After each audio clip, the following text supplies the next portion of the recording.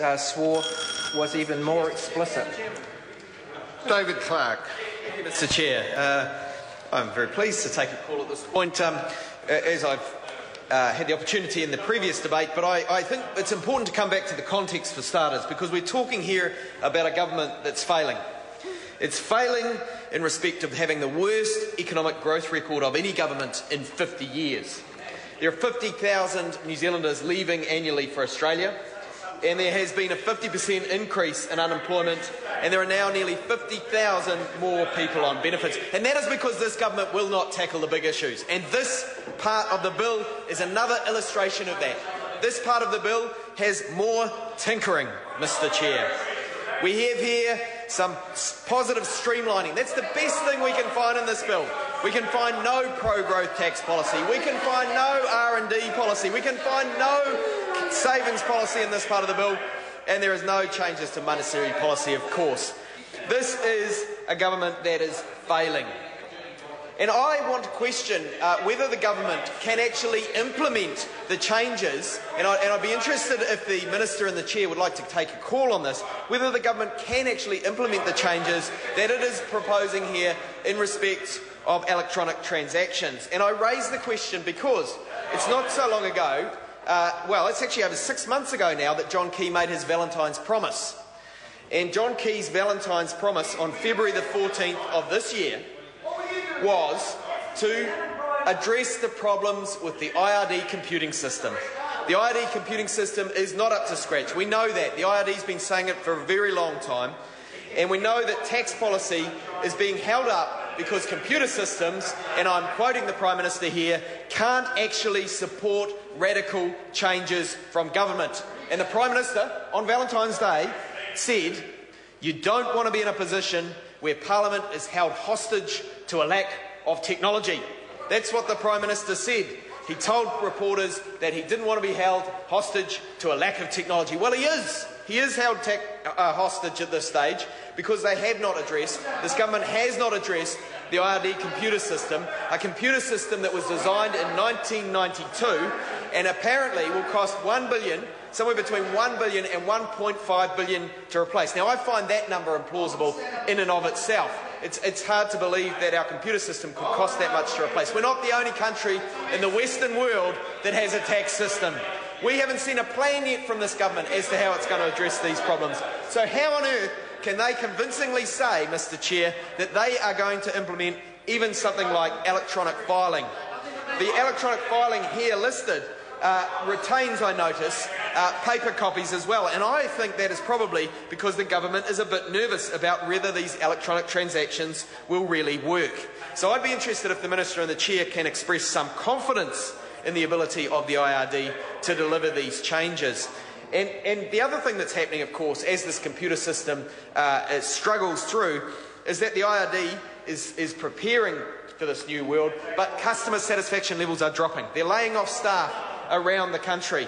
Uh, 42 people in the last four years uh, down my way, and they continue to have dropping satisfaction because everything's going online uh, or everything's going on the phone. It's actually hard to find somebody if you've got a tax issue these days who will service your needs. We all as taxpayers pay for the system, but our service is not being met that we need. Well, there are advantages in having electronic returns, so I congratulate the government on uh, recognising this at last. And um, I guess one of the advantages of being able to uh, put in electronic returns is that uh, you can put them in more immediately. You can write them up straight away. If you're carrying around uh, an iPhone or a, an iPad, you can, you can write up, I assume, your electronic returns straight away. Or that will be a provision, I hope, if the Minister might like to explain that as well, how immediate it is. But I assume those, those forms will be online. You'll be able to start filling them out. And if you are somebody that suffers perhaps from memory loss, you know, if that's an issue that, that somebody struggles with, they could, I mean, you couldn't bank on it, my, my colleague says, but but I, I, hope that it is true that this will facilitate uh, an easier filing of returns for people who struggle with a variety of issues, not just memory loss. I was thinking about this as I flew up from uh, the electorate uh, of Dunedin today, Dunedin North, the fine electorate that I represent, um, in, in, a, in, an aeroplane. Um, it was an aeroplane, yes, that's right, it wasn't a, a helicopter, and I do remember that very, very well. uh, I was thinking about the advantages of electronic returns. Now, the other thing um, that we're seeing as these computer systems, Mr. Chair, Mr. David Chair, Clark. the other thing we're seeing as these computer systems struggle is that a, no- a range of other problems are starting to uh, impact on the department. Uh, we had 70,000 calls uh, not answered in the lead up to the last filing date. We have hundreds, 70,000 calls unanswered. 70,000 calls. Uh, w- I'm sure it's not 50,000, uh, Mr. Faafoi. It's uh, 70,000 calls. Now, and I do remember, I do remember, uh, we have hundreds of thousands of unprocessed returns, hundreds of thousands of unprocessed returns in that department. And, you know, we, we, I'm sure we'll hear more from my colleagues about returns. Uh, we have a system that falls over at crucial times and that was declared by the IRD to be on its last legs in many of its past uh, briefings to incoming ministers. And we have no plan but only talk of a $1 billion rebuild. We're not, as I say, the only country in the Western world with a tax system. The other uh, point I would like the Minister perhaps to uh, address is the rumours that are swirling around about the rebuild of this computer system that will presumably be the computer system that files these electronic returns.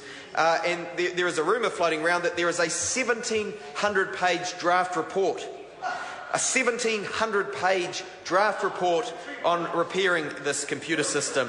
Now, we've seen no action from the government. There's certainly been no public announcement of a plan. That's called a manual. Yes, it is. But, but we've seen. We've seen no, no, um, no public announcement, we've seen no commitment, and I wonder whether even the 1700 page draft report, if it exists, suggests what the next steps might be. Perhaps another draft report. There's some consultants doing very well out of this. Uh, my colleague uh, Mr. Chris Hipkins pointed out just how well the consultants there are doing not so long ago. Um, after pointing out that a million clients hung up before their calls were answered last year, uh, Mr. Mr. Hipkins drew attention to the more than 125 million that has been spent in the IRD on consultants and contractors. That is unbelievable for a falling level of service that the public of New Zealand are getting sick of, and that is, that is simply uh, not able to make the big tax changes that we would like to see the capital gains taxes, the research and development tax credits, the things that would actually make our economy work rather than these smoothing gestures that we find, the rats and mice that we find in part three of this bill. Um, I, I notice also that uh, clause 131 uh, notes that a taxpayer may apply for financial relief, um, and that, that financial relief uh, in face of hardship paying tax is another sensible clause in this budget. So the kind of tinkering that's in here, most of it we don't object to. We just think that the really big changes could be addressed. Who knows, the financial relief might be uh, useful for somebody who's filed a false tax return, who's then uh, forced to repay some money and is uh, then paying, whilst paying their debts to society, is scratching around for some extra dough. Um, so the clauses that are in this bill do seem sensible. Unfortunately, they're only tinkering, Mr Chair, and they do not get to the heart of the issue. They do not address the real problems in our economy, the big problems that the national government will not address because it is, uh, doesn't seem to have the wherewithal to address those things which would make our economy function properly. Thank you, Mr Chair. Sue Moroney. Thank you, Mr. Chair. Thank you. Um, I think in order to understand the importance of Part 3 of this Act, uh, of this bill, I actually want to get members of the